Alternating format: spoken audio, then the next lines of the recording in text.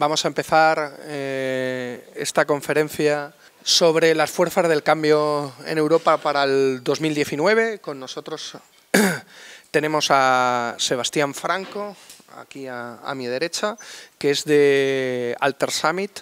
Estaba anunciado su trumbo del Transnational Institute, pero no ha podido venir y viene Sebastián de la plataforma del Alter Summit. Eh, aquí a mi izquierda tenemos a Marisa Matías, que es eurodiputada del Bloco Esquerda, y un poquito más a Charlotte Jurok, voy a decir mal seguro el, apellido, que es la responsable, fue la responsable de programa de Francia Insumisa. Eh, de hecho, va a empezar Charlotte. va a empezar Charlotte, va a ser la, eh, única que va a, necesitar traducción. Está, que normalmente no se suele decir también los nombres, pero tenemos a Alex Merlo, que hará de traductor, en este caso de, de Charlotte. También muchas gracias a todos por venir una, una tarde muchos de vosotros, además, y de vosotras que os habéis trasladado desde fuera de, Madrid.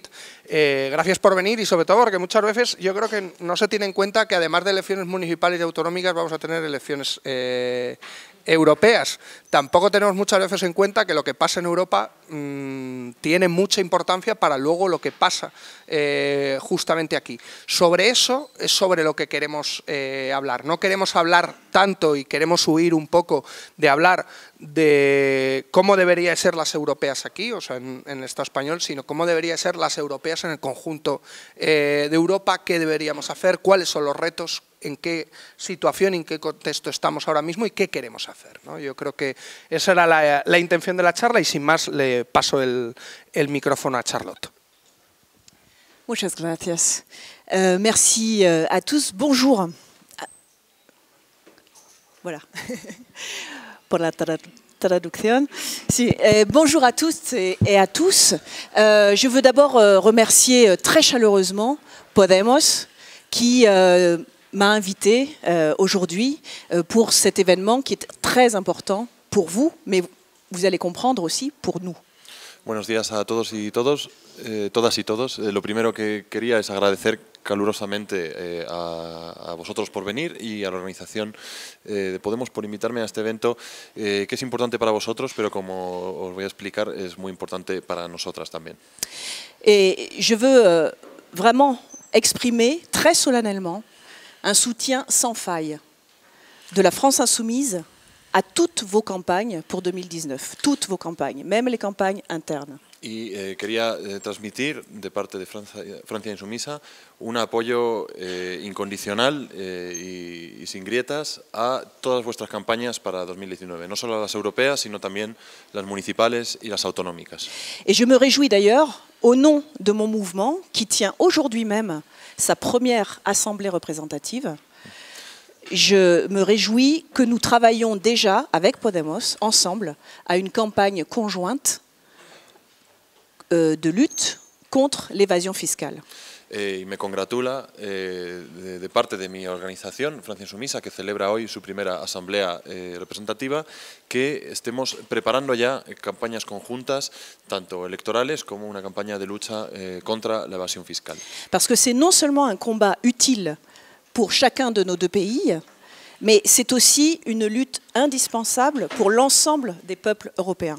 Ya que se trata de una lucha eh, útil eh, no solo para nuestros distintos países, sino para eh, el conjunto de Europa. C'est d'autant plus important parce que c'est en fait une étape de plus euh, dans le travail en commun que nous avons déjà mené, que nous avons déjà commencé avec les sommets internationalistes du plan B. Es una etapa más en el trabajo que ya el trabajo conjunto que ya habíamos comenzado con las cumbres internacionalistas del plan B. Sur le fond, euh, c'est une campagne donc contre l'évasion fiscale qui montre que nous nous défendons les intérêts du peuple contre ceux de l'oligarchie, car l'oligarchie a intérêt à l'évasion fiscale, mais pas nous. Una campaña de la evasión fiscal, contra la evasión fiscal que muestra justamente eh, que defendemos los intereses del pueblo contra los intereses de la oligarquía, porque, porque es justamente esta oligarquía la que practica principalmente la evasión fiscal. Euh, la France insoumise et le programme de transformation sociale que nous portons euh, sont, il faut que vous le sachiez, les héritiers d'un nom, et d'un nom qui est exprimé en France en 2005 lors d'un référendum et d'un non dirigé contre l'Union européenne telle qu'elle fonctionne.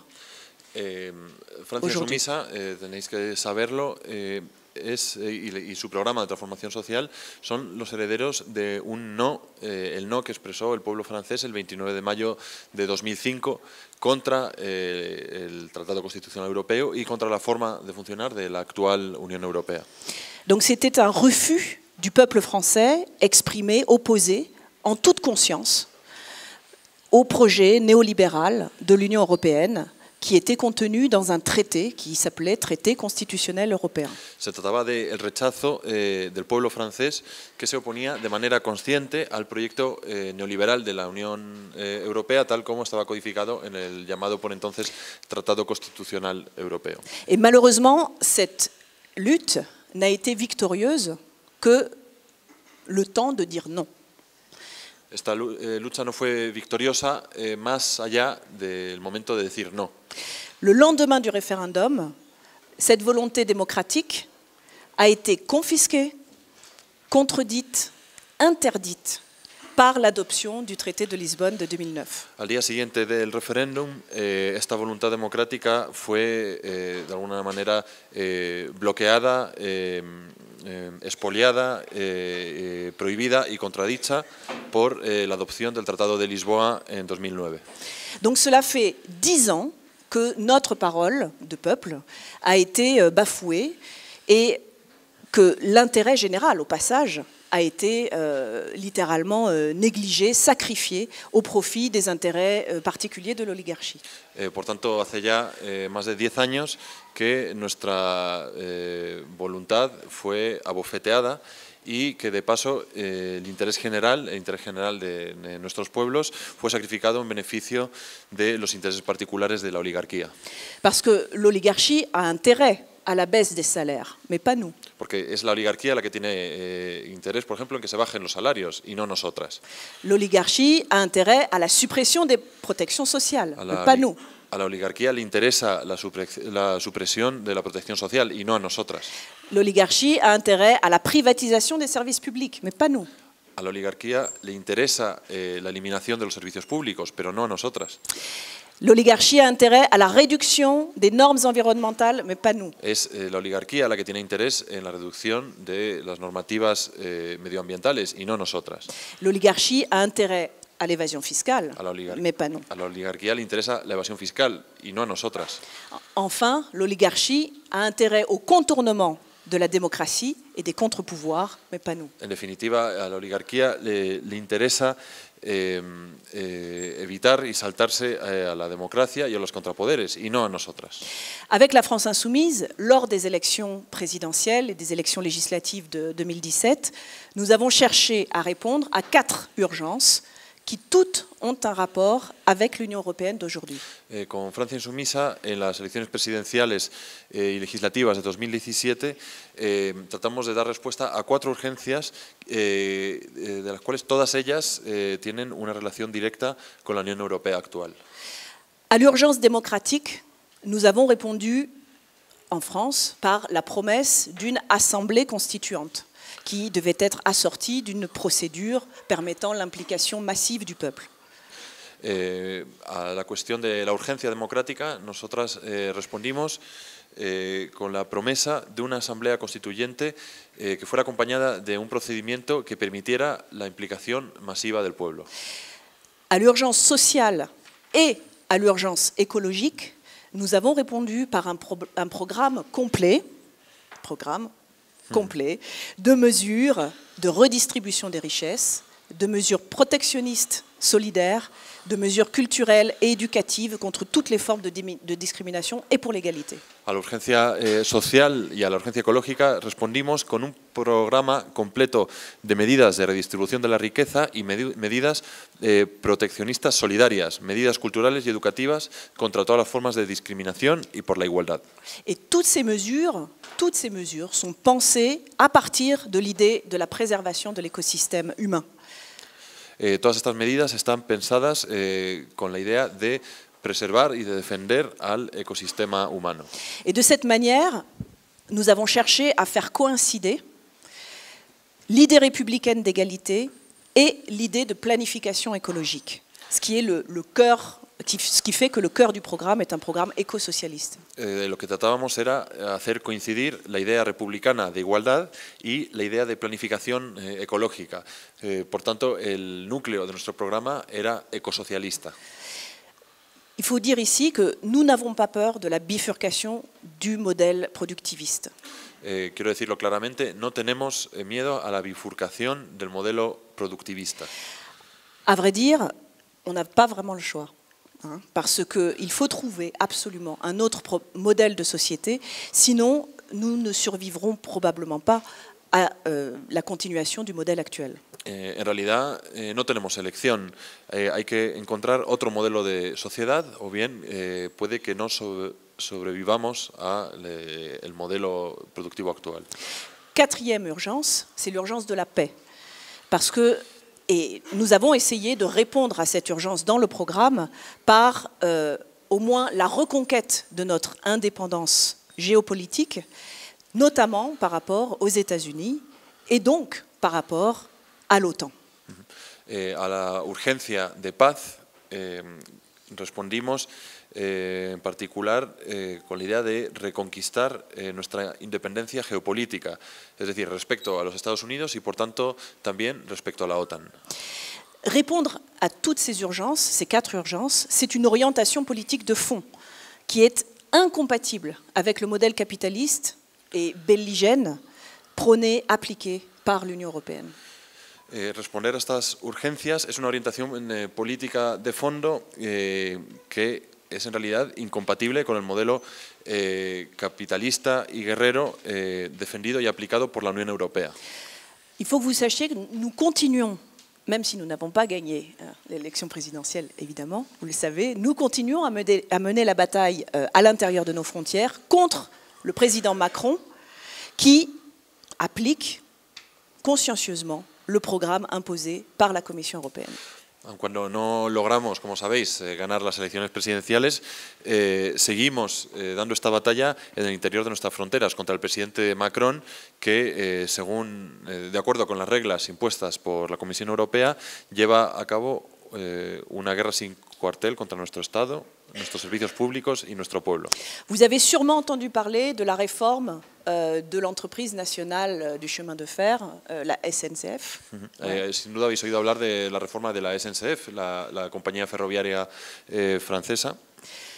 Vous savez que nous sommes euh, dans des luttes dures aujourd'hui et des grèves massives. Sabéis que hoy se están dando luchas muy duras y, y una huelga masiva. Notre groupe parlementaire de la France insoumise, mais aussi le groupe communiste à l'Assemblée nationale et au Sénat, sont la pointe avancée, la pointe avancée euh, de cette résistance. Eh, nuestro grupo parlamentario en, en- La Asamblea, en- en la. Asamblea Legislativa y también el grupo de los comunistas y nuestros grupos en el Senado son de alguna manera la punta de lanza de, de esta lucha. Et la vitalité du mouvement social fera le reste. Y eh, confiamos también en la eh, vitalidad del movimiento social para llevar a cabo el resto de, de la batalla. Nous avons rendez-vous dans la rue pour une grande marche contre les réformes libérales euh, du gouvernement actuel le 5 mai. Vous êtes bienvenus. Eh, tenemos cita para una gran eh, manifestación o, o desfile. Una marcha. Una marcha, un desfile. Défilé. Una marcha. Eh, eh, el 5 de mayo, que es, es el aniversario del comienzo del gobierno de, de Macron, para oponernos a todas sus eh, políticas neoliberales y demás. Mais nous savons que nous n'arriverons pas à nos fins sans avoir aussi un agenda européen adapté. Pero eh, sabemos que no lograremos todo esto si no tenemos eh, también un programa adecuado para Europa. Et c'est pourquoi nous sommes ici avec vous aujourd'hui et dans tout ce que vous entreprendrez euh, qui ira dans le sens d'une rupture avec les traités européens et d'une reformulation une renégociation de ces traités dans euh, le sens humaniste, social et écologiste. Y es por esto que estamos hoy eh, con vosotras y estaremos eh, siempre eh, con, con toda iniciativa que vaya en el sentido de una ruptura de- con los tratados y de una renegociación en un sentido eh, humanista, eh, eh, socialista y ecologista. Et la campagne européenne de 2019, à mon avis, doit être transnationale pour être crédible. La campaña europea de 2019 tiene que ser transnacional para ser cre- creíble. Et comme ce qui vous arrive nous arrive aussi, vos victoires sont nos victoires. Ya que lo que os ocurre a vosotras nos ocurre también a nosotras, vuestras victorias serán las nuestras. Voilà pourquoi je suis très heureuse d'être ici avec vous, avec Marisa et Miguel. Eh, y es por esto que estoy muy, muy contenta de estar hoy con vosotras y con Marisa, Miguel y Sebastián. Voilà, merci à tous. Gracias.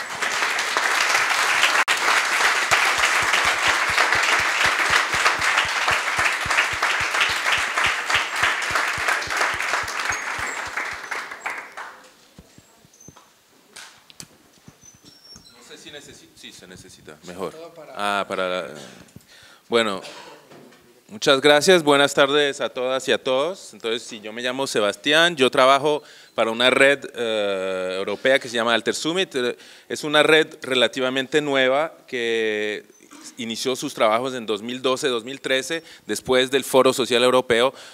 Varias organizaciones han dicho tenemos que tener un espacio transnacional europeo que sea efectivo ah, a la hora de atacar las políticas europeas, porque ya veíamos Europa como un, digamos, una institución que ataca y que gobierna eh, los países en Europa. Entonces, de ese proceso, que es un proceso, digamos, novedoso y difícil, ya podremos hablar las dificultades que tenemos hoy en día para bloquear eh, realmente lo que se está pasando en Bruselas y en las instituciones, pero digamos que por ahora somos un centenar de miembros en, una- en 10 países, digamos, con una participación efectiva de 30 organizaciones de 6 a 7 países en Europa.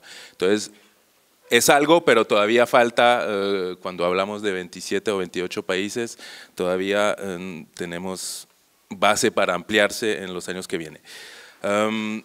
Una de las particularidades es la voluntad de relacionar los sindicatos con las organizaciones, asociaciones, colectivos, que digamos no es siempre evidente eh, como relación, los ritmos, eh, las realidades son diferentes, las formas de decisión, eh, todo eso hace a veces un poco difíciles la toma de decisiones y la movilización sobre todo. Mm, Nos han pedido también hablar un poquito del contexto político europeo. Yo no me voy a extender, aquí tenemos gente más eh, capaz de hacerlo, pero me parecía importante hablar de, de dos cosas. Una es, creo que es el cambio climático, la cuestión climática que es nueva, digamos nueva desde hace unos años, y que todavía eh, es difícil, y, sobre, y yo hablo para mi propia organización, de hablar de ese tema con sindicatos, con asociaciones es más fácil, pero digamos que también las nuevas prácticas alrededor, los nuevos movimientos eh, alrededor de esa cuestión, poco se interesan a nuestro tipo de organización y los sindicatos tienen bastante dificultad a poner eso todavía en el centro. Eso va avanzando, es, un punto que, a mí me parece fundamental eh, hacer avanzar, pero digamos que no estamos a la punta de lanza, como decía la compañera, en este combate. Eh, otra dificultad es hablamos de crisis de izquierda, podemos hablar muy ampliamente de esa cosa. Eso tiene una realidad también sobre nosotros uh, y nosotras, porque nuestras organizaciones son las que están en crisis, digamos, uh, para decirlo. Y entonces, esa crisis ya no es nueva, digamos, ya yo, yo pienso tendrá 20, 30, uh, 30 años, y yo creo que hoy en día hay elementos que nos pueden hacer pensar que en parte estamos superando esa crisis. Hay irrupción de, nueva, de nuevos partidos, irrupción de nuevos movimientos, con nuevas prácticas, con nuevos discursos, menos burocráticos, más democráticos. Yo creo que sobre esas bases tenemos que identificarlas y eh, hacerlas, eh, digamos, participar más en, coordinación. ¿En qué estaba? Los desafíos para las fuerzas del cambio. Entonces, tenemos, sobre todo a nivel europeo, una dificultad importante, es parar la destrucción de los derechos que está eh, avanzando a pasos forzados eh, estos tiempos. Ha hablado la compañera Charlotte de lo que está pasando en Francia y, que es un ataque global de, de Macron a todo lo que significa el, Estado social francés, eh, la seguridad social, y eso es un desafío para las fuerzas de izquierda porque están acostumbradas a defender algunos de los puntos, entonces a defender eh, las pensiones, a defender el trabajo, a defender tal y tal eh, elemento, y frente a un ataque global estamos en dificultad. Entonces yo creo que hay que, hoy en día, y, para eso me parece importante pensar en una, eh, a construir y a politizar el movimiento social. Cuando entiendo por politizar el movimiento social, me parece importante que los movimientos sociales tomen en cuenta ese ataque global, entonces que todos los elementos de la lucha están articulados y que el pensamiento de nuestras eh, resistencias tienen que articularse con las otras realidades. Eso quiere decir tener programas, digamos, no no necesariamente como un partido, pero programa que, que, responde a todos los desafíos eh, de las sociedades de hoy y tener un plan de acción concreto contra las fuerzas que hoy en día eh, llevan eh, ese proyecto de destrucción. Y a nivel europeo es un problema suplementario porque todavía estamos en un europeísmo residual, digamos, diciendo que Europa es significación de paz, de, proyecto común de los pueblos europeos, que hoy en día las instituciones absolutamente ya no llevan.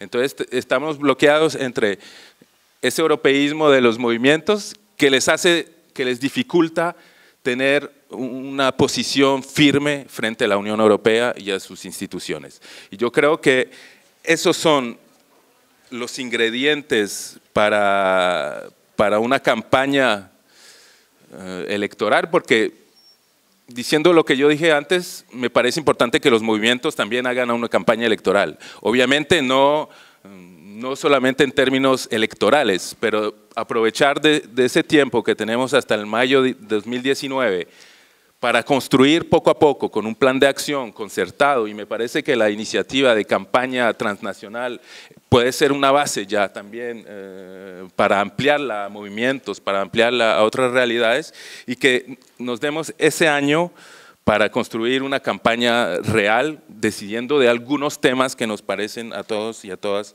importantes. Pero me parece que una crítica radical del proyecto europeo es importante a diferenciar Unión Europea y Europa también. Son dos cosas que me parecen importantes hoy en día eh, de distinguir. Eh, me parece también otro ingrediente que es la explicación de mecanismos concretos, cómo funciona realmente hoy el poder europeo y cómo influye directamente sobre las realidades nacionales, regionales, locales. Todavía, hasta nosotros que trabajamos sobre eso, todavía tenemos a veces dificultad, y yo hablo por mí mismo, a entender bien cómo se relacionan los gobiernos eh, nacionales con las instituciones, la correlación de fuerza entre tal institución y la otra. Eso dificulta un poco nuestro análisis, pero yo creo que podemos ahí trabajar bastante. Eh, me parece que tenemos que tener, obviamente, propuestas de cambios generales, pero también concretas, puede ser con los tratados, buscar en los tratados cuáles son los elementos que nos dificultan más, no sé, los conceptos de competitividad, de, eh, de, competencia, todos son conceptos inscritos en los tratados que me parecen que se pueden criticar.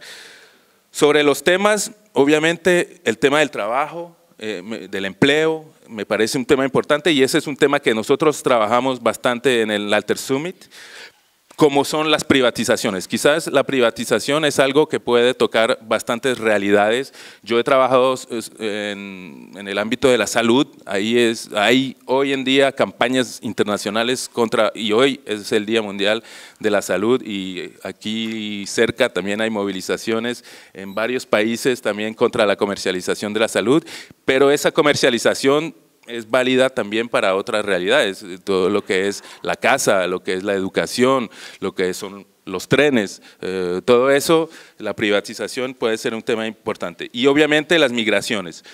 Ese es un tema bastante complicado porque cuando vamos a, hacer campaña, obviamente el tema de la migración va a llegar, eh, como siempre llega en todas las elecciones y siempre estamos un poco... Eh, en la defensiva sobre ese punto. Y yo creo que la respuesta es eso, es que hoy en día también hay eh, movimientos colectivos de migrantes, de sin papeles, de manteros, lateros, que hoy en día llevan una voz política fuerte. Tenemos que dar espacios eh, a esas realidades dentro de nuestras redes. Yo creo que esas colaboraciones son indispensables porque aportan una visión de la migración que no es eh, de acolienza, ¿cómo se dice? De, aco, de welcome, acogida, pero más bien de exigencia de derechos sociales para todas y todos. Yo creo que volteando el discurso sobre ese tema eh, nos podría facilitar eh, el trabajo sobre ese tema. Bueno, si no, mm, no me voy a alargar como ya estamos llegando a, los 10 minutos. Eh, por eso. Entonces, em, nada más hablando de quizás del calendario, tendríamos que hablarlo colectivamente. Son en mayo de 2019, nos da un año. Entre tanto, hay las negociaciones del Brexit. Yo creo que eso es un elemento también importante porque se se va a hablar del mercado interno, de las relaciones a un mercado interno y, yo creo que el mercado interno es uno de los elementos de la Unión Europea que hace difícil nuestras realidades privatizando, llevando, uh, internacionalizando los mercados públicos. Todo eso hace que, eh, que se dificulte nuestro trabajo y el Brexit va a poner eso eh, eh, en la luz. Hay obviamente el 8 de marzo de 2019, yo creo que aquí en el Estado español han tenido una experiencia muy valiosa e importante y yo creo que muchos de los movimientos en Europa están pensando movilizar mucho más para el año entrante para que pueda haber huelgas en muchos más países y que eso pueda ser un punto de apoyo para una campaña eh, para una Europa muy diferente. Hay el 7 de abril, que es también el Día Mundial de la Salud, eh, la red de salud ha también decidido eh, de hacer una campaña durante un año contra la comercialización de la salud, entonces podría ser alrededor de, ese momento también eh, un momento de movilización, pero creo que tendríamos que pensar en abril o mayo 2019 en movilización social en Europa, que sea descentralizada, o centralizada en Bruselas. Yo sé que hemos ensayado varias veces hacer manifestación en Bruselas, no es fácil, pero me parece que igual tenemos que tener eso en mente y tratar una vez de estar, de ser eh, miles y miles y cientos de miles alrededor de la Comisión y del Parlamento Europeo para mostrar que en Europa hay pueblos que quieren otro camino y que hay eh, que luchar. Bueno, muchas gracias.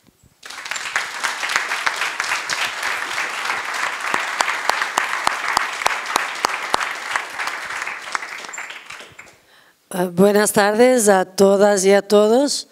Eh, una vez más, un gusto de estar aquí con vosotras y vosotros. Y una, una vez más hablando en una lengua rara, pero creo que nos entendemos. Eh, de todas formas, si estamos aquí juntos y juntas es para discutir la cuestión europea, que yo entiendo que hay cosas mucho más interesantes para hacer uh, para mucha de la gente, para la mayoría. eso no es una broma, es porque en hecho la política de la Unión Europea, la forma como se está platicando es una forma que no intenta involucrar a ciudadanos y ciudadanas. Entonces, que discutirlo, aunque sea fundamental para nuestras vidas, es algo que no es muy sexy, no es muy interesante, no es muy atractivo. Pero creemos que debemos hacerlo. Este es el propósito de estarmos aquí juntos haciéndolo. Tampoco es para inventar la rueda, porque ya trabajamos juntos hace mucho tiempo, somos fuerzas políticas que intentamos hacerlo de distintas formas, somos, fuerzas internacionalistas y luego eh, es casi una redundancia de decir que vamos a hacer cosas internacionalistas juntos. Entonces, ¿por qué estamos juntos? Y yo creo que hay que reflexionar y pensar que añadir a todas las dificultades que ya teníamos desde atrás, desde el proyecto fundacional de Unión Europea, que ahora estamos delante de dificultades otras y para las cuales no tenemos herramientas. Y entonces podemos quedarnos muy contentos que tenemos nuestras estrategias nacionales, internacionales, pero no cambiar mucho. Y solo para autosatisfacción de que hicimos lo que tenemos que hacer y nada más. En ese sentido, yo quería hablar y sin repetir algo que ya fue dicho, pero tampoco intentando entrar en muchas cosas que yo creo que Miguel va a hablar, eh, solo apuntar algunas cuestiones para nuestro debate. La primera, ¿por qué es tan difícil? Porque sí, sabemos que las izquierdas son difíciles, hay que decirlo con frontalidad. Pero ¿por qué tan difícil de, tener una estrategia común eh, en este contexto europeo? Por un lado, porque yo creo que en este momento, después de la crisis económica y financiera, que se ha convertido en una crisis social y política y democrática muy profunda, eh, hay una narrativa que se está construyendo, que es como que estamos en un momento, de una cierta forma, un momento de, de recuperación económica moderada, de paz, de mm, desarrollo. Entonces, que los días difíciles ya están en nuestras, atrás, en, en nuestras espaldas. En este sentido, lo que tenemos por delante es seguir con este crecimiento moderado, tranquilito, que no causa mucho daño, tampoco es muy, muy, da una respuesta muy concreta a los problemas concretos de la gente, pero de todas formas hay esta narrativa ahora que si fuera hace cuatro o cinco años atrás no la tendrían, pero hoy tienen esta narrativa de decir al final el futuro de la Unión Europea puede tener distintos colores eh, que, que, será mejor. Eh, y yo creo que eso es una de las cuestiones que, em, uno de los desafíos mayores que tenemos, porque em, como ha habido soluciones diferentes en distintos países, si tenemos la tragedia griega, tenemos aquí mismo al lado de mi país, en Portugal, una solución que al mejor ha enseñado a la gente que reduciendo con la austeridad y no implementando tantas reformas estructurales, a lo mejor la gente puede ver un poco mejor, pero esto es una ilusión del real problema que enfrentamos. Y eh, en ese sentido, yo creo que los países periféricos, y sobre todo el caso de Portugal y Grecia, que yo creo que son importantes de analizar, están, han sido, están siendo utilizados como dando credibilidad a esta idea de que que pueden implementarse políticas alternativas en el cuadro de la Unión Europea, que pueden implementarse políticas alternativas en el cuadro de los actuales tratados. Y esta es la peor trampa en la cual podemos caer nosotros y nosotras, y yo hablo desde Portugal desde Bruselas, no hablo desde Grecia, que sería un poquito más fácil de hacerlo, creo yo, en este momento trágico que vive Grecia. Pero eso es lo que está dando como que de comer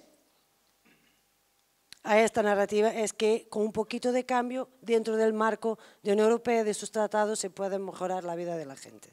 Y la izquierda y las izquierdas yo creo que tienen que pensar muy bien cómo van a responder a, a las preguntas que, van que están emergiendo en este contexto. ¿Podemos realísticamente esperar una Unión Europea donde las medidas de, izquierdas puedan ser implementadas o no? ¿Podemos en hecho pensar que hay espacio para una democracia plena y para eh, escuelas? Choices. Choix. Elecciones. Ah. tendría que ser una palabra además muy difícil.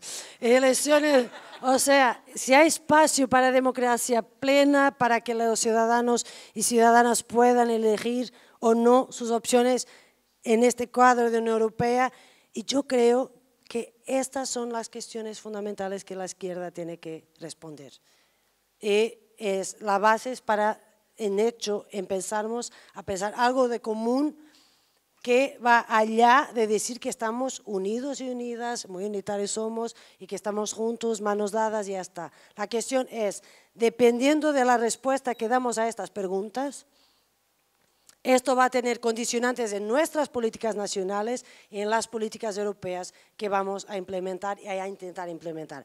Yo os quiero decir desde ya que pienso que no hay espacio para democracia plena en esta Unión Europea que pienso que no hay espacio para que los ciudadanos y ciudadanas puedan elegir de una forma eh, total, democrática en Europea, y pienso también que no hay espacio para implementar políticas de izquierdas en este contexto institucional. Eso yo creo que es un reconocimiento fundamental para empezar a construir una alternativa. Pero tenemos que decidir también eh, discutir entre nosotros si tenemos la misma perspectiva o no sobre estas cuestiones. 2019 no será una elección europea igual a las demás. Ah, por eso, porque el contexto es un contexto en teoría positivo, de desarrollo, de crecimiento, de que el peor ya ha pasado. Y al mismo tiempo, mientras se habla de todo esto, miramos cómo crece la extrema derecha, los movimientos racistas, los movimientos xenófobos, como crecen los problemas que es de no dar, seguir no dando respuesta concreta a, los problemas concretos de la gente. Esto no ha sido ultrapasado, pero de todas formas hay una idea casi, que romántica, porque como tenemos el ejemplo de Portugal, ya está todo solucionado. Hay que copiarlo, hay que intentar aplicarlo en otros países y así tendremos una solución europea. Pero la verdad es que si la socialdemocracia ya había tenido como una hecatombe en términos políticos, en el sentido de aplicar políticas más propias de derecha y neoliberales que propias de la socialdemocracia, va a tener una hecatombe electoral en las elecciones 2019 y su representación en las instituciones, incluso en el Parlamento Europeo, va a ser muy reducida. Yo creo que el único país que podrá aportar más diputados de Partido Socialdemócrata al Parlamento Europeo será Portugal. No, estoy, no veo otro en la Unión Europea. Y si yo estoy contenta con esto, no ni un poco. Pero esto nos pone una otra cuestión aún más fundamental.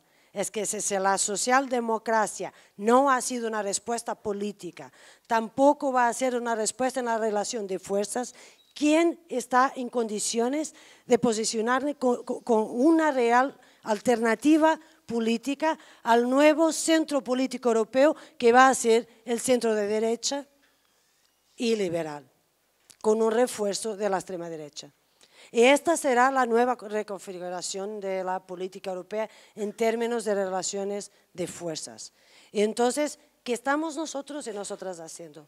Creo que no tenemos otra opción que no sea mirar con ojos de mirar, en hecho, una alternativa que sea el suficientemente amplia pero al mismo tiempo no dudosa para ser la real alternativa a la extrema derecha y al nuevo centro político que será reconfigurado por los conservadores y las fuerzas neoliberales muy, muy próximos de la ideología de extrema derecha, porque la flaqueza de la izquierda, la flaqueza de la socialdemocracia, lo que han hecho es de, han puesto la derecha en su versión más convencional, y más ah, tradicional y más, ¿puedo decir acostada sin ser otra cosa horrible?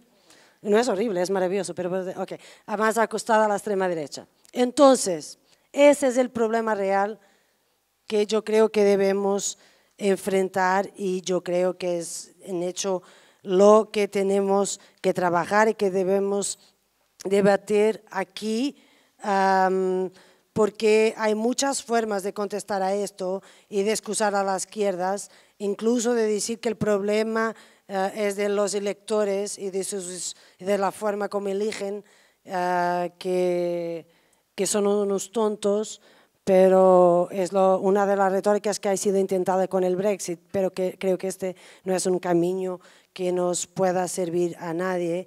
Eh, y, claro que em, también solamente decir que estando unidos ya tenemos una solución no nos sirve a nadie también eh, y podemos a lo mejor hacernos de tontos pero no resolvemos ninguno de los problemas de la gente y ya no puedo hablar más. Gracias.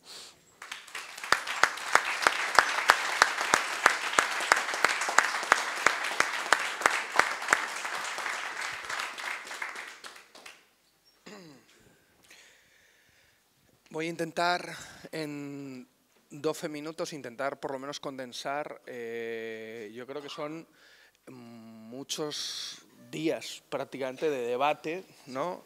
y de reflexión, porque es verdad que, que aunque, en, en nuestros, eh, aunque en, eh, en, España no se esté debatiendo mucho la cuestión europea, sí que es verdad que en, que en otros muchos países el, tema de Europa está muchísimo más presente en, en el debate político cotidiano y hace también honor real a la importancia que tienen los debates europeos luego para nuestro día a día y nuestra cotidianidad, que yo creo que esto es muy importante tenerlo en, en mente. ¿no?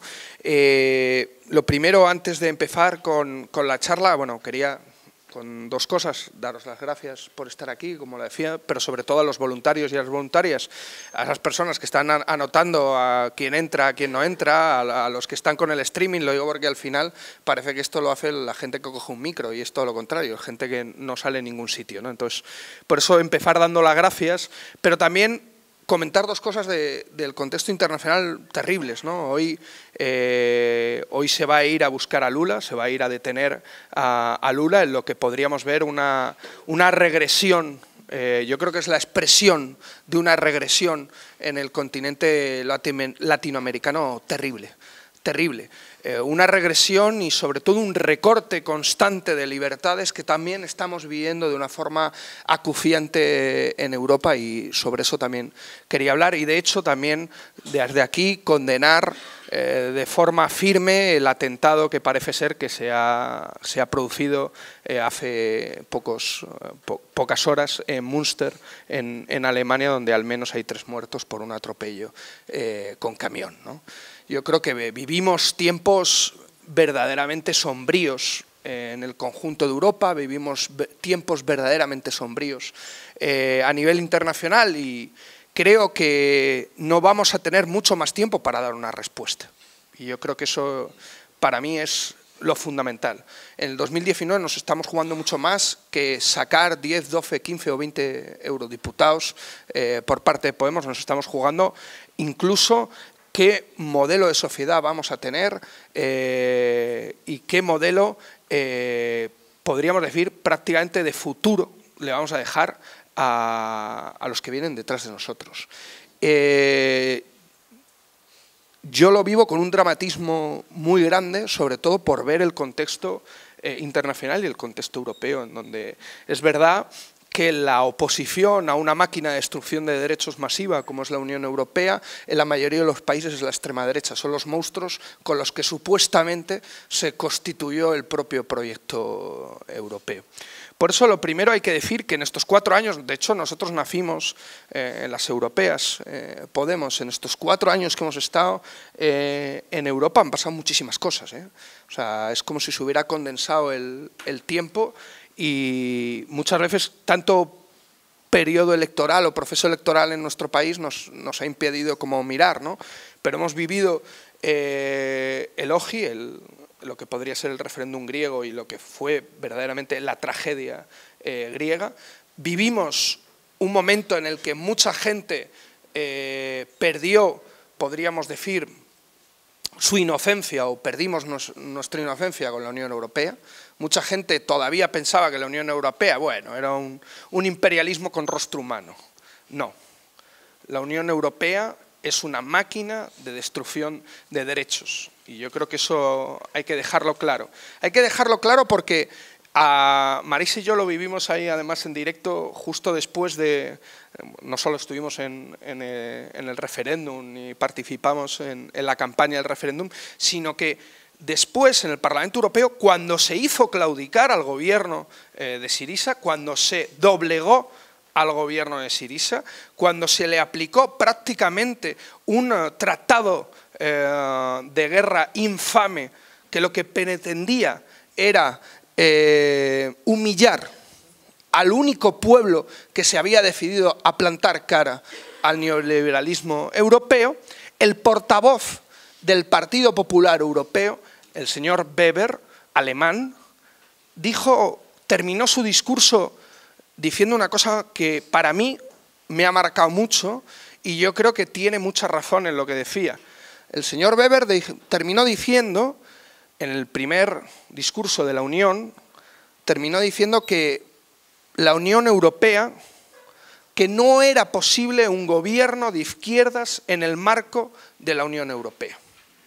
Que el ejemplo de Grecia demostraba que no era posible un gobierno de izquierdas en el marco de la Unión Europea y que tomara ejemplo España y que tomara ejemplo Podemos de lo que le iba a esperar si llegábamos al gobierno. Yo le doy la razón. No es posible un gobierno de izquierdas en la actual Unión Europea. Y hay que diferenciar Unión Europea de proyecto europeo y evidentemente de Europa, que son cosas muy distintas.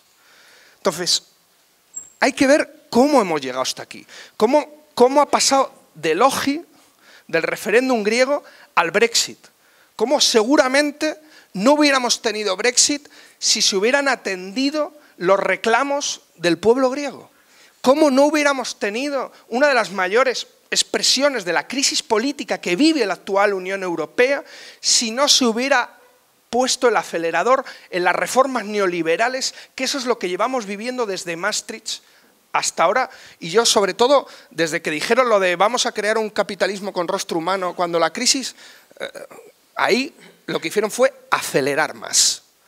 Y ahora estamos viendo, incluso como ante la crisis de legitimidad que vive la Unión Europea, no hay una reformulación del proyecto, sino que hay una especie de huida hacia adelante. Y las propuestas que están encima de la mesa por parte de la Comisión y por parte del eje Macron-Merkel es una huida adelante y es un intento de blindar el proyecto europeo como un proyecto únicamente neoliberal, en donde cada día ceder soberanía a esta Unión Europea es ceder democracia. Y yo creo que en ese sentido hay, hay que ver que incluso en esta Unión Europea, en donde cada vez hay un giro mayor hacia la derecha, de todas las fuerzas.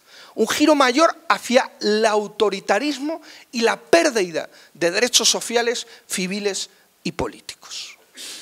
De hecho, la foto actual del Parlamento Europeo no responde a la foto que seguramente veamos en el 2019 si no hacemos algo.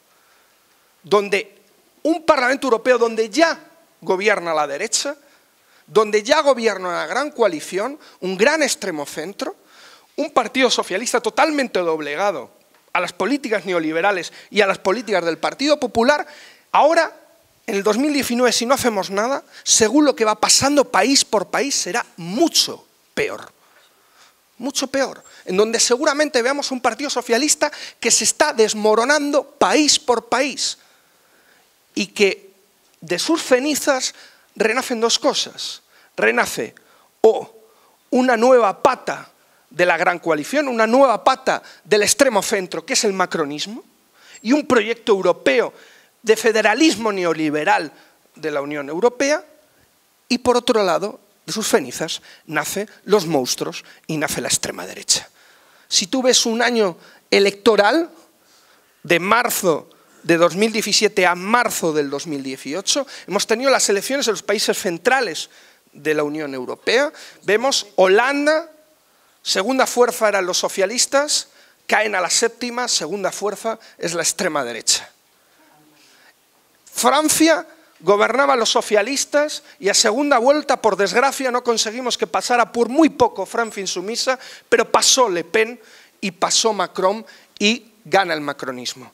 En Alemania vemos como por primera vez la extrema derecha entra después del 45 por primera vez entra al Bundestag y ahora después del pacto de gran coalición socialistas y populares en las encuestas es la segunda fuerza y en Alemania Oriental es la primera. 91 diputados. Metemos el tema fundamental de Austria en donde están gobernando y ya vayamos a Italia en donde nos encontramos con una Liga Norte que pierde el norte para llamarse Liga del Frente Nacional, y el movimiento Cinco Estrellas, con un discurso cada vez más xenófobo hacia los inmigrantes, son las dos principales fuerzas que se están disputando el gobierno en Italia. Y la izquierda, y la izquierda, con una escisión incluida del Partido Socialdemócrata, no suma el 4%. Esa es la foto actual de los países centrales de la Unión Europea, en donde solo tuvimos, solo tuvimos la buena nueva de Francis Sumisa. Lo único.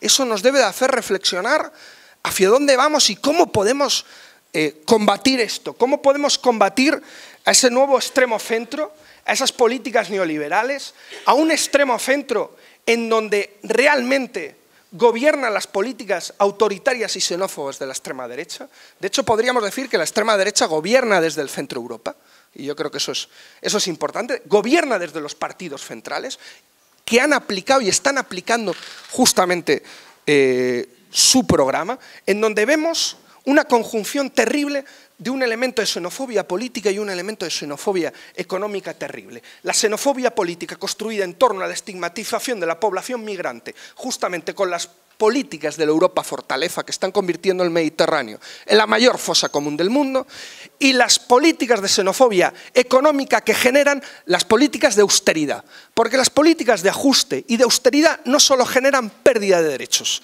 sino que también generan un sentimiento entre la mayoría de la población de escasez, de no hay para todos. Y si no hay para todos, la lógica que está primando en Europa es expulsar a sectores sociales del reparto una guerra entre el último y el penúltimo. Están favoreciendo una guerra entre pobres con chivos expiatorios en donde la clase obrera, las clases populares y los migrantes son ese chivo expiatorio.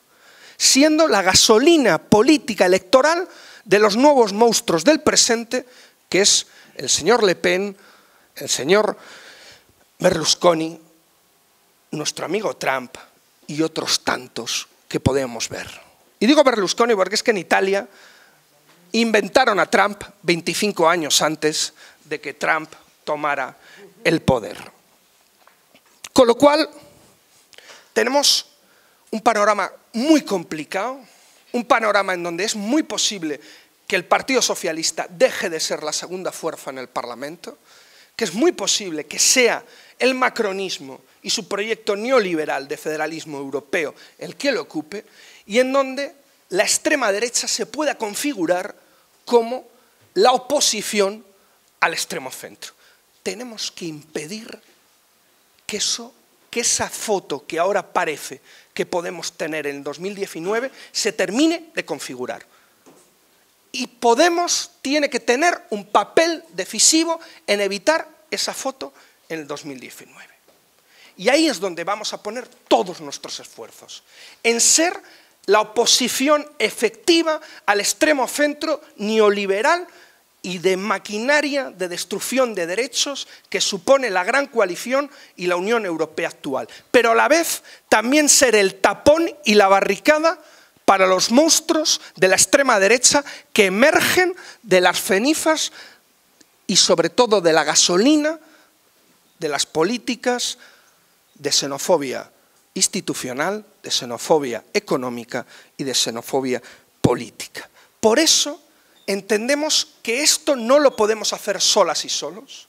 Por eso hemos empezado a plantear campañas comunes como decía Charlotte, campañas comunes sobre el tema de la fiscalidad que vayan directamente hacia el, hacia, la, hacia el modelo de construcción europea, un modelo de construcción europea a favor de las multinacionales y los multimillonarios.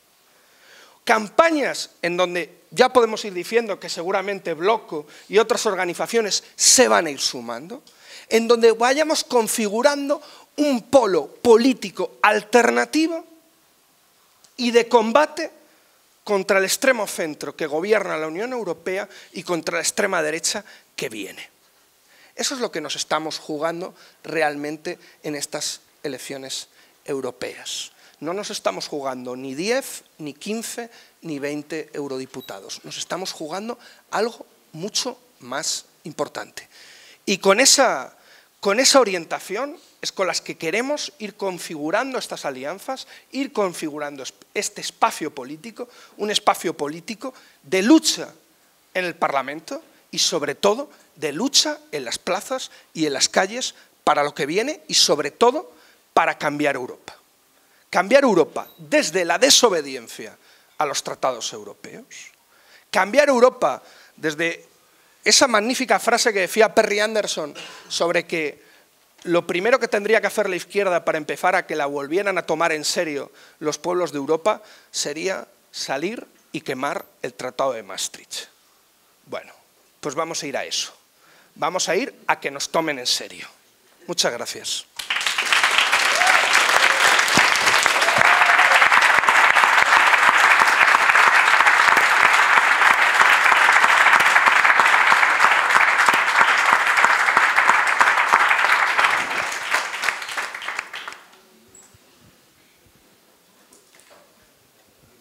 Eh, palabras. Vamos tomando palabras, hacemos un único turno de palabras y luego un minuto por ponente. Miguel. Miguel, Gil. Hola, buenas. Eh, gracias a todos. Creo que todas entendéis ¿no? Eh, el español. Quería hacer una pregunta sobre el detalle de qué significa una campaña transnacional eh, y saber un poco cuál es eh, vuestra opinión. En particular creo que con tres temas. Uno que serían las listas, otro candidato o candidata a la Comisión Europea y el tercero eh, programa.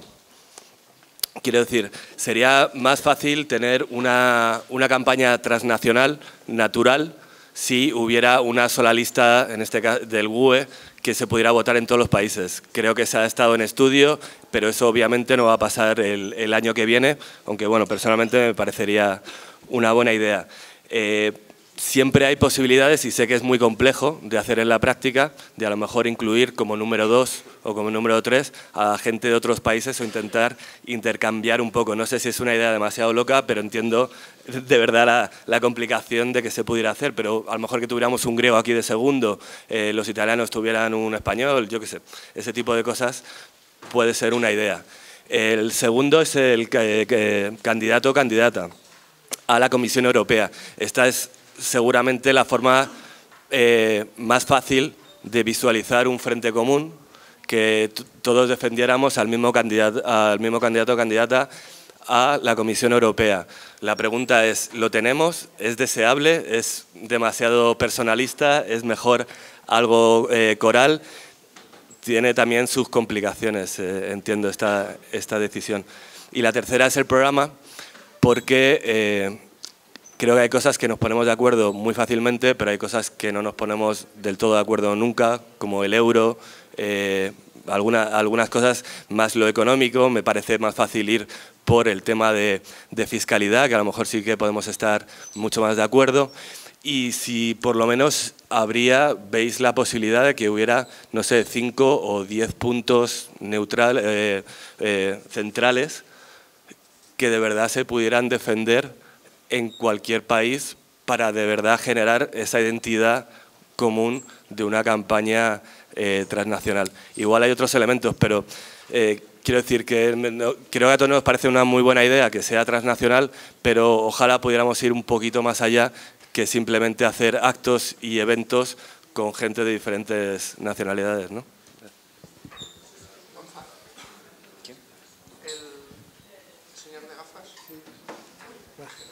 Ramón de Valencia. Entonces, eh, yo quería hacer una, una pregunta ¿no? en, digamos, en esta necesidad de conformar una, bueno, una candidatura única europea, ¿qué papel puede jugar un partido que está bueno, al margen de vosotros, como es en 25, y en todo caso, un poco más general, o sea, si no sería interesante construir un partido europeo, o sea, digamos, la idea de un partido europeo, ¿no? Completamente transversal, y, o sea, no una federación de partidos, sino un, partido como tal.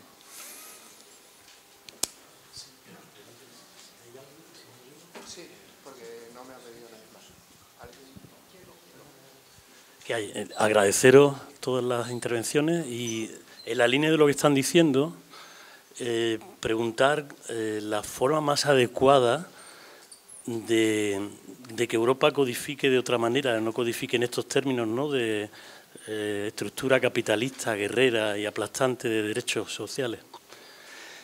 Por otro lado, ¿qué sentido le veis a una liga de países periféricos del sur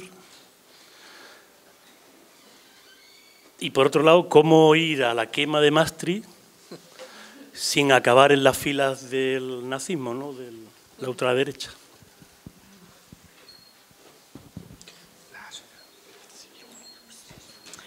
Buenas tardes. Mis felicitaciones a todos, sobre todo a ti, Miguel, que siempre nos inyectas este entusiasmo a las personas que no somos tan jóvenes como tú. Yo yo no elegí el país donde nacer, pero sí elegí el país donde vivir, Europa, España.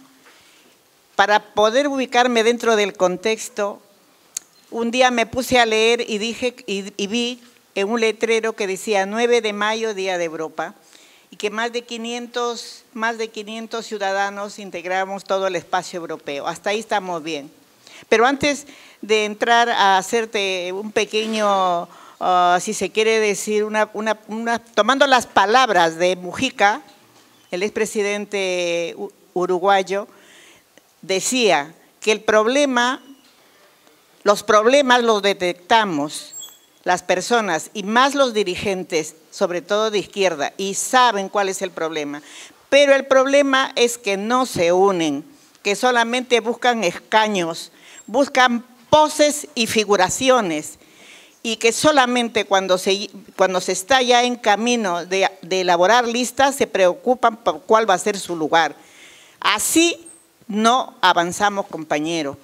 Yo digo, si frente a todos los que has descrito, a toda la, síntesis, en, en tu poder de síntesis que has hecho, que el problema del racismo, de la xenofobia, de los inmigrantes, todo la manera como trata Europa a estos sectores, eh, las pocas ayudas, la derechización, etcétera, etcétera, por lo que se está, es que a nadie es ajeno, o sea que todos y todas somos conscientes porque directa o indirectamente somos testigos de los problemas que hay y de la manera como se le enfrenta.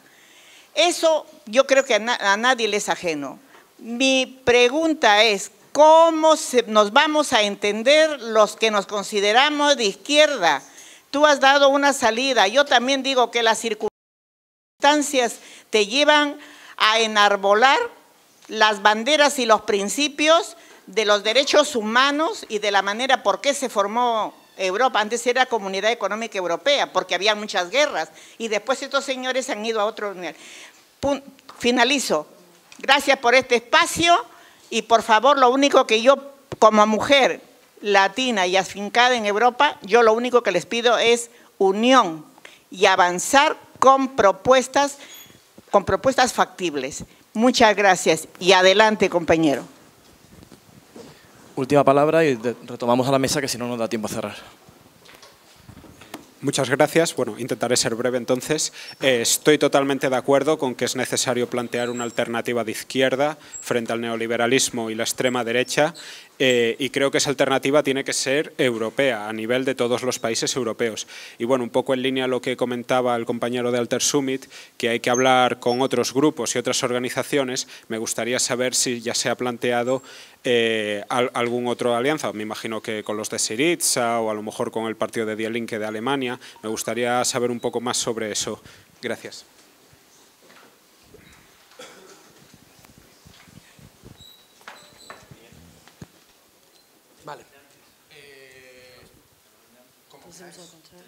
O al contrario, si quieres empiezo yo y...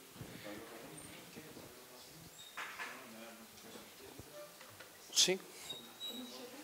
Vale.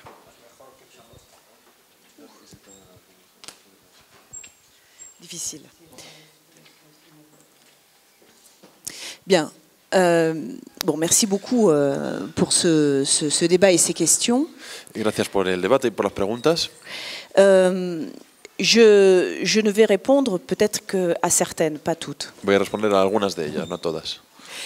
Euh, je pense que la question qui me revient euh, plus directement est la question euh, de la manière de mener les campagnes une campagne transnationale. Eh, una de las que me atañe más directamente es eh, cómo llevar a cabo una campaña transnacional. Bon. Je, je, idéalement, nous, enfin, France Insoumise était effectivement favorable à des listes transnationales. En principio, eh, Francia Insumisa era favorable a que hubiera listas transnacionales. Idéalement. Mais le temps pour construire des listes pareilles manque. Eso en principio, pero eh, la cuestión es que faltaba tiempo para construir tales listas. Que par ailleurs, il y a aussi une, euh, une, euh, bon, une, euh, comment dire, une contrainte euh, qui est que, et c'est la réalité, pour construire une campagne transnationale, il faut toujours laisser une porte ouverte. Eh, hay además una, una, condición, y, y, es que para construir una, una, lista, una campaña transnacional, hay que dejar siempre una puerta abierta. ¿En qué sentido? Or, si aujourd'hui on fixe des listes avec une alternance entre les euh, organisations qui aujourd'hui sont d'accord, mais ne comprennent pas l'ensemble des gens qui pourraient être d'accord demain, euh, on, empêche finalement euh, des pays de rejoindre la dynamique. Entonces, si, si ahora constituyéramos listas, digamos, que donde se intercalasen los partidos que hoy por hoy tienen eh, un acuerdo, eh, quizás con ello limitaríamos que más adelante eh, pudieran sumarse eh, otros partidos con los cuales eh, podemos llegar a tener acuerdos o po esperamos poder contar. Donc c'est aussi la raison pour laquelle nous avons choisi de, de donner une impulsion aujourd'hui en partant euh, de, de, de, questions concrètes et de campagnes concrètes à mener. Es por eso que hemos eh, decidido comenzar eh, y tomar impulso con eh, campañas sobre cuestiones concretas. Et à partir d'un noyau, effectivement, d'organisation, parce que euh, ce sont celles qui se sont euh, mises en mouvement le plus rapidement. Mais ça ne veut pas dire que nous fermons la porte euh, à, a toutes les organisations qui pourraient nous rejoindre. Eh, a partir de un núcleo de organizaciones, es cierta, es cierto que aquellas eh, bueno, que se han puesto en movimiento más rápido, con las cuales teníamos más acuerdo, pero lo cual no eh, impide que más adelante se puedan sumar más organizaciones. Et donc, répondre, je réponds à deux autres questions et je m'arrête, euh, parce que c'est la suite du raisonnement. Euh, c'est la question euh, notamment d'une Ligue des pays du Sud, je crois que j'ai entendu ça. Eh, voy a seguir con otras preguntas. Eh, para empezar, la cuestión sobre una alianza de pueblos del sur. De fait, le noyau dur est une sorte déjà euh, de ligue, mais c'est une ligue de départ qui est en train d'entraîner avec elle d'autres pays qui euh, ne sont pas forcément au sud, mais qui ont les mêmes intérêts. Eh, d'autres pays, d'autres organisations qui sont pas eh, Lo cierto es que hoy por hoy el, el núcleo que tenemos es de alguna manera ya una liga de países del sur, pero que no está cerrada a que se puedan adherir organizaciones de otros países que no son del sur. Et l'idéal et la perspective, évidemment, c'est de construire, peut-être pas un parti européen, euh, parce qu'il pourrait avoir des rigidités que nous ne, souhaitons pas. En revanche, la perspective est effectivement de construire un intérêt commun européen alternatif euh, au désastre que constitue l'Union européenne d'aujourd'hui. Eh, y, y, a partir de ahí, eh, el objetivo no es necesariamente construir un partido europeo que pudiera tener eh, ciertas rigideces que no, que no queremos, pero sí, en todo caso, un, un polo alternativo o un proyecto alternativo eh, en Europa y para Europa. Voilà.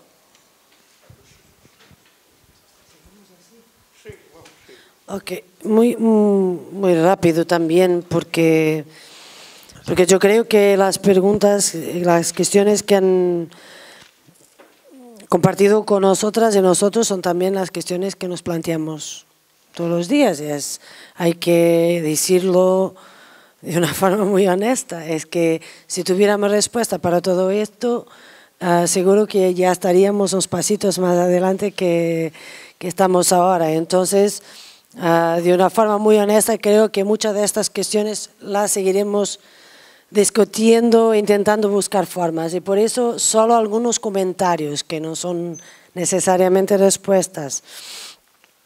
Esto de las listas comunes ya no va a existir. Pero si hablamos de listas comunes, candidatos comunes, un otro partido, lo que sea, yo creo que el el peligro es que nos quedamos siempre discutiendo las formas y nunca los contenidos ni los proyectos políticos. Y ya pasamos como con muchos meses discutiendo esto de las listas transnacionales, sin tampoco le poner ningún contenido que no sea queremos o no queremos sí o no y por qué tampoco lo hemos discutido mucho.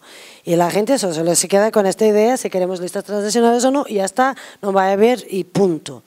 Y yo creo que la cuestión del nuevo partido es igual. Hay muchos movimientos de izquierdas, hay movimientos progresistas, tiene, y hay que admitirlo, orientaciones a la vez contradictorias y con las cuales tenemos, preguntaban un compañero, ya no me acuerdo quién, perdón, sobre el DIEM 25. Yo creo que tenemos que trabajar con todos los movimientos progresistas que existen. Ahora, creo también ser muy transparente y decir, yo no comparto la visión federalista de DIEM 25. Yo no la comparto, pero seguro que compartiremos muchas otras cosas y muchas otras luchas. Pero esta no, esta, porque creo que en este momento, y es, es para mí muy evidente que en mi presentación yo no he salido de la introducción, pero de todas formas he intentado, pero lo que quería decir es esto, es que si nos quedamos en las formas, eh, en las divisiones tradicionales, en, las, en, los, en, la, en, estas cuestiones no vamos a salir de ahí. Tampoco me parece una idea genial salimos a, una, un enfrentamiento, a una lucha política tan importante como esta, ya diciendo y construyendo muros uh, entre nosotros. Creo que es lo peor que podemos hacer. Pero tampoco tenemos que estar de acuerdo con todo. Miguel hablaba de soberanía. Uh, yo pienso que es muy importante de no confundir lo espacio común con lo espacio de intervención nacional, precisamente porque necesitamos de resgatar este espacio de soberanía donde vamos a poder de otra forma también resgatar, creo yo, dimensiones de democracia que no logramos hacerlo a nivel europeo y para reforzar todos los niveles de democracia y solo reforzando las democracias nacionales, las locales, las articulaciones con los movimientos, etcétera, etcétera, solo así podremos también reforzar esos espacios. Entonces, que no hay aquí ningún, ninguna forma de tenermos ser, sermos canibales de espacios que necesitan de tener respiración propia, espacio propio de reivindicación, de lucha democrática y de trabajo político. Entonces, no, es una de las luchas más importantes que vamos a tener el año próximo, pero no es la única y tampoco lo que vamos a discutir ahí agota todo lo que tenemos para discutir y para hacer delante en muchas escalas, en muchas dimensiones, espacios distintos que seguimos trabajando. Candidato común o no a la Comisión Europea. Yo creo que fue importante hacer esta discusión y tener una decisión como esta en 2014. ¿Y por qué? Porque ahí yo creo que teníamos aún todos y todas la ilusión que Grecia era un espacio de esperanza para implementar una política alternativa en la Unión Europea. Y aunque supiéramos que el candidato común era una farsa, no es una elección democrática, no, no refuerza la democracia de ninguna de las formas, no, no es ningún instrumento que nos pueda traer más contenido y sustancia, pero tácticamente era importante apoyar a este candidato, en la altura apoyamos a Alexis Tsipras, porque en Grecia se estaba generando y creando un espacio de ilusión de, de una alternativa política. Ya perdemos la edad de la inocencia, creo que todos y todas. Entonces, ¿por qué seguir perdiendo tiempo e intentando convencer a la gente que estamos más unidos si tenemos un nombre común? Yo tengo muchas cosas mucha dificultad en lidiar con la personificación de la política. Y entonces creo que personificarla en una persona, paso la redundancia, de, no es necesariamente algo que nos va a traer más fuerza en la lucha común que, que, tenemos que hacer. Por último, y porque ya tengo que calarme otra vez, um, por último, solo para decir que cómo entonces, cómo con campañas comunes, sí, han, hablado de ejemplos. La política fiscal es evidente, pero no es la única. De espacios de políticas comunes en las cuales tendremos no solo que trabajar en conjunto, en conjunto al nivel europeo y más que europeo internacional, como también tiene que haber espacio para nuestros partidos, los movimientos de nuestros países puedan hacer cosas a nivel nacional en las mismas áreas, que sean complementarias y que puedan eh, decir, a decir, hacer un, una propuesta coherente con densidad política y constructiva. Pero no solo eso, yo creo que en este momento eh, de las luchas más difíciles, pero seguro que comunes, es la lucha por la paz, porque vivimos una paz podre. Eso, perdón es eh, no podemos entender paz como ausencia de guerra, es otra cosa.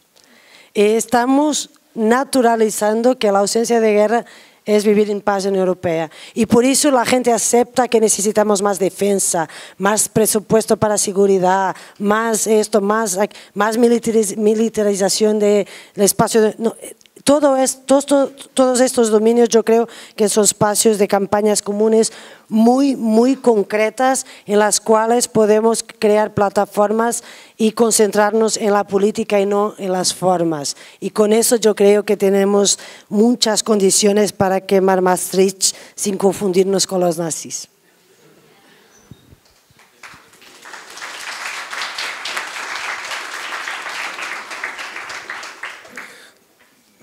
Una simple palabra sobre la, propuesta de, Liga del Sur, no sé cómo se llamaría, pero digamos que ya ha existido con una huelga que hubo en 2014, creo que era 2014, entre aquí en el Estado español, eh, Grecia, Italia y no sé si en Francia también hubo partes de, huelgas, pero fue una iniciativa que no tuvo eh, mucho seguimiento, porque a mí me parece más bien de ir a buscar cantidad, cantidad, buscar calidad. Eh, entonces yo creo que si ya trabajamos sobre unas redes efectivas en cuatro, cinco países, en 15, 20 ciudades, con una participación masiva, eh, con elementos políticos fuertes, yo creo que ya tenemos un impacto a nivel europeo. Todavía no hemos logrado ese tipo de acciones eh, y yo creo que antes de, querer hacer quizás una movilización en 27 países, eh, etcétera,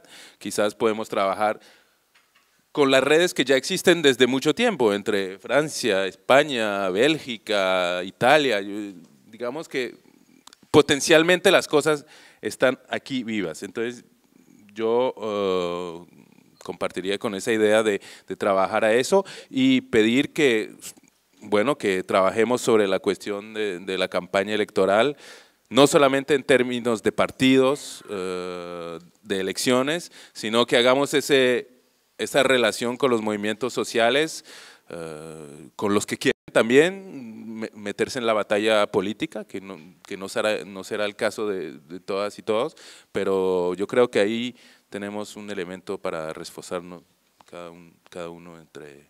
Y si no, les quería hacer un poquito de publicidad, como no hablé mucho en esa. Aquí tenemos una, una publicación sobre la salud y, la lucha con la salud como lucha de transformación social. Eh, es en inglés, no sé si hay gente que habla aquí en inglés, pero yo tengo varias, son gratis, entonces por favor vengan y yo les ofrezco una, un folleto aquí. Intento ser eh, lo más telegráfico posible eh, para intentar responder casi todo porque seguramente me dejaré algo. Listas, eh, listas transnacionales, no va a haber listas transnacionales, ya se votó en el Parlamento Europeo eh, en contra y seguramente aunque se hubiera votado a favor, el, Consejo era muy posible que no, que no la sacara. El problema, y yo estoy sobre todo con Marisa, en que hablábamos de listas transnacionales en vez de hablar, por ejemplo, de competencias del Parlamento. Es la única institución directamente elegida por los ciudadanos y, es la única y es la institución que menos competencias tiene de toda eh, la Unión Europea.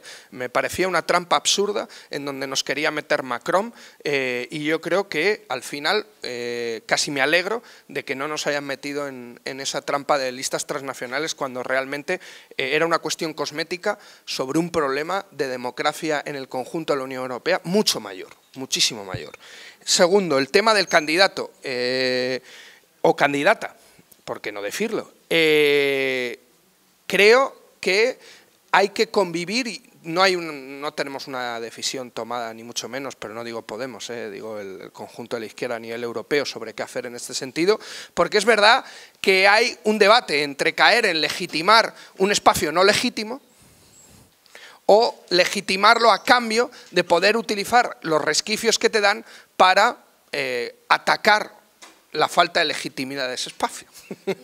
no, al final parece una tontería, pero eso es, es en cierta medida, ese es en cierta medida el debate, ¿no? Entonces, bueno, no está, eh, no está cerrado. Yo no tengo una posición maximalista ni a favor ni en contra eh, sobre eso. Creo que tiene pros y, y contras, pero habrá que decirlo eh, casi como de las últimas cosas, ¿no? que habrá que tomar una decisión. Hay que hacer cosas mucho anteriores y a mí el programa y los puntos me parecen mucho más importantes. Esperemos que no sean 10 puntos, esperamos que sean 100, 200 o más puntos en los que podamos estar todos de acuerdo, pero sí que creo que es muy importante decir ejes más que puntos. Yo creo que hay un eje fundamental que es anti-neoliberalismo y anti-austeridad, otro que es fundamental, que es democracia, y ampliación de derechos, otro que es ecosocialismo, otro que es migración y otro que es paz. Yo creo que sobre eso, yo creo que eso, y feminismo evidentemente, sobre eso, sobre eso, sobre eso,